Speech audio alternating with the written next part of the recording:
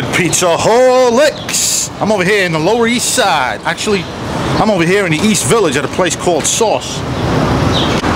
One of two locations. I believe they have a restaurant close by.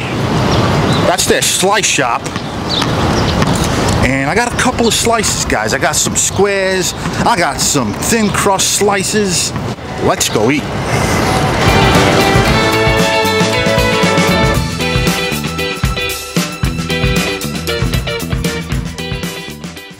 All right, here we go. They give you a side of sauce. The place is called sauce. You get a side of sauce. So if the pizza's undersauced, just pour some more sauce on it. uh, it doesn't look undersauced. It looks pretty good. The cheese to sauce ratio looks tight. Paper thin. Loving that undercarriage electric oven.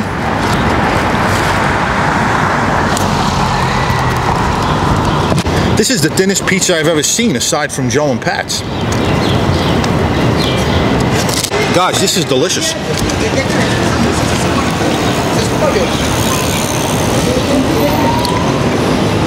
This is a damn good slice of pizza. I'm gonna give it a little dip. It's okay to dip pizza in sauce in New York City, as long as it's not ranch.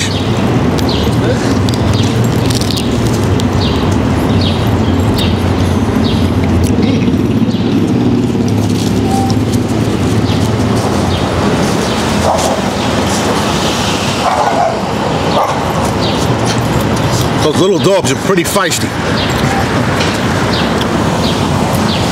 It's interesting because the dipping tomato sauce is different than the sauce on the pizza. That's kind of like a raw tomato passata. The dipping sauce reminds me of a passata.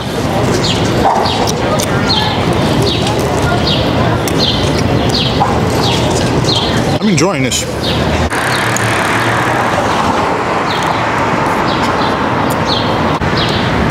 I don't like that the sauce tastes different.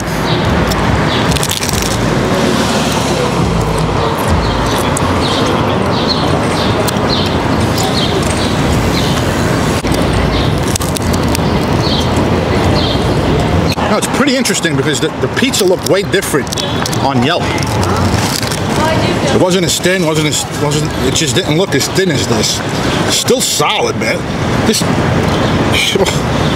Really impressed, really impressed. Let's try the square before it cools down. All right, so they give you two sides of sauce for each each square.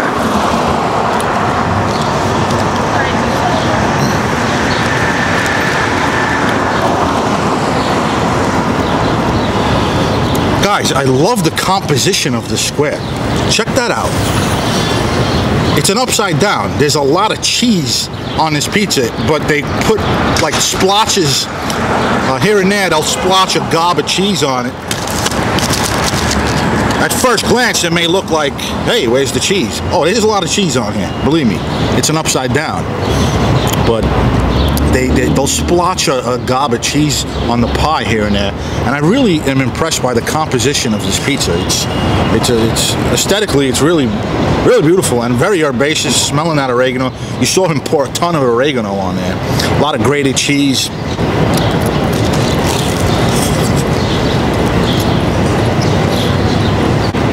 I'm not even going to use the dipping sauce. It just doesn't.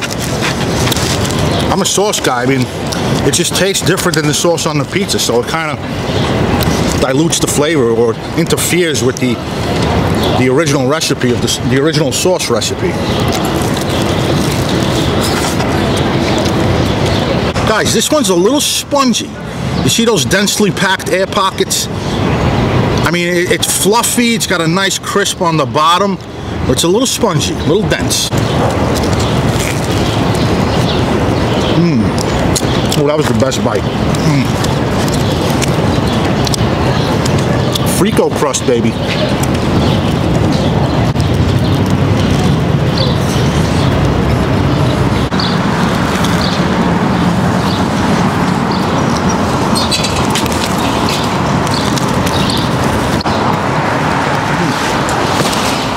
All right, guys, what do you say we move on into the lab and get a closer look at their thin crust standard cheese pizza? That's right, guys. This is their standard cheese pizza. It's not a margherita or anything like that or grandma. It's their standard. Grated cheese all over the place. Up my alley, guys. Chunky tomato sauce, indeed. That's right, folks.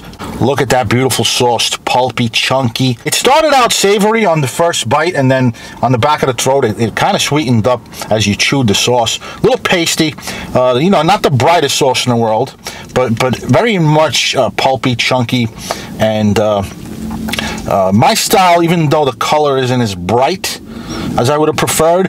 It wasn't a sauce that I'd consider too sweet for me. Um, uh, even though it wasn't the most savory, uh, it, it, did have some good concentrated tomato tang. Look at the color of that cheese. One would think it's a fresh mozzarella. It's not. It's such a beautiful color. Look at the beautiful color of that cheese. Very bright white. Good distribution, good cheese coverage, good cheese to sauce ratio, sauce spread to the edge, chunky. Loving it, man. Good flavor on this thing. The basil had some kick. Looks like they cook it uh, before baking it. I mean, it looks like they put the basil on the pizza before baking it. Uh, but, you know, I don't really factor basil into the final score. I'll talk about it. Did have a little nice pungent flavor to it. Uh, didn't kick me in the ass. But, um, guys, that cheese again.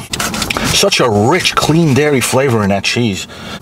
It's not fresh mozzarella, folks. There's some good balance of dairy, milky content in that cheese and fat. Good, good balanced cheese. This is quickly becoming my favorite cheese, and it reminded me of the cheese on the uh, John's Bleecker pie. It reminded me of the cheese on the John's Bleecker pie. Really good quality, low moisture mozzarella. As good as you're going to find on a pizza. And folks, we can't score this thing until we talk about the crust, guys, because let's face it, the foundation of every pizza is the foundation, the crust. Look at that char, guys. Electric oven. That that char had a substantial amount of bitterness, which goes well with that beautiful sweet sauce. Look at that char fantastic. Five out of five on the char factor. Electric oven. And look how airy this thing is. Are you kidding? Where do you get a thin crust as airy as this?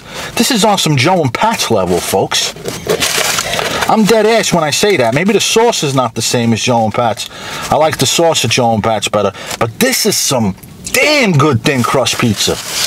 That's as fine as it's going to get, folks. Very airy, no chew, very light, good balance between chew and crunch. A lot of crunchy pizza tends to be chewy. Not the case here, folks. We got ourselves a winner. Now, on to the square. All right, guys, next on the list, we have their upside down. Look at all those blisters and goosebumps. Look at that on the bottom, a nice dimple there in the middle, beautiful char, cooked perfectly. The Frico crust was full of flavor when you bit into it. Never did it taste burned. You got a good, rich, uh, cheesy bite. When you when you when you caramelize cheese like that, it it brings out the fats and the flavor. Uh, it wasn't as tender as let's say a Da Vinci slice, but it did end with a nice crunch on the bottom. I would have preferred a less, a lighter chew to this thing. It was a little spongy, guys, a little spongy. I would have preferred it to be a little lighter, a little softer, a little more pillowy there in the center. Uh, not too bad. Again, it's just, I think the thickness to the sauce to cheese ratio is off.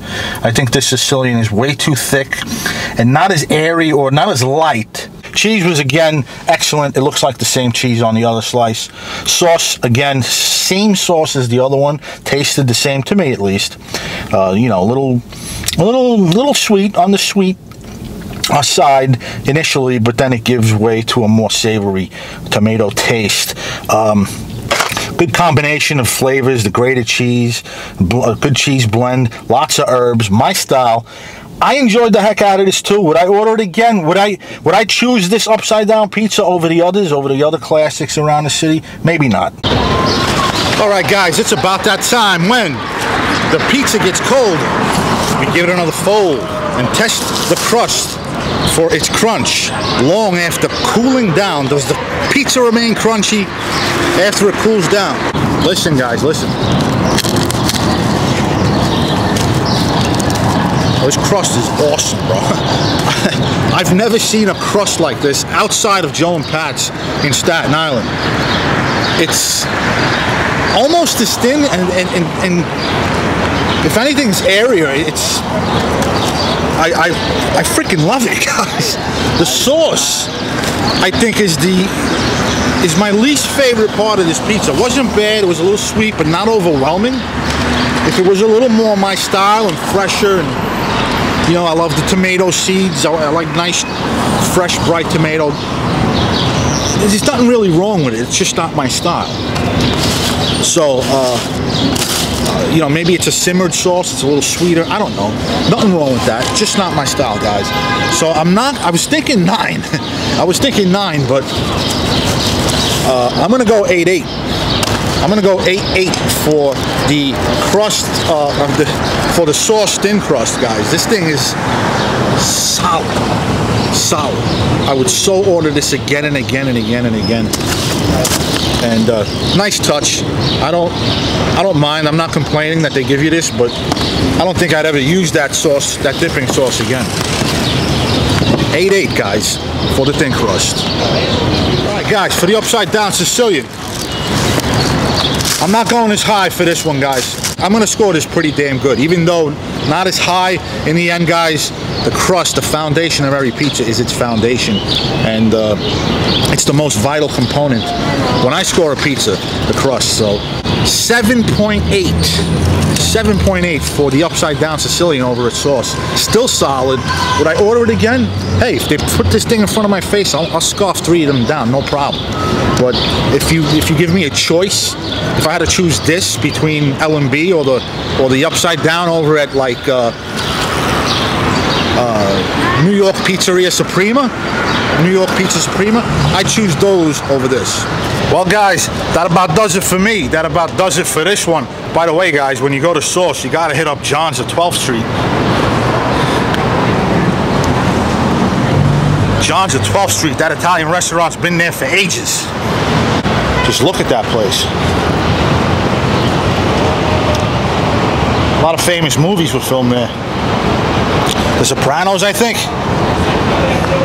Yeah, they curb stomp him in The Sopranos. The, oh, The Sopranos, right? When they beat that guy up? Yeah. Talks to Meadow. Right, when he talks to Meadow, yeah. Thank you. Guys, I'm out of here. Hope you guys enjoyed this one. Guys, if you can, hit that like, smash that subscribe button. It would help me out a lot. Hit the join button if you want to become a member and have access to exclusive content. Until next time, keep those bellies full, folks. This is Antonio, signing off.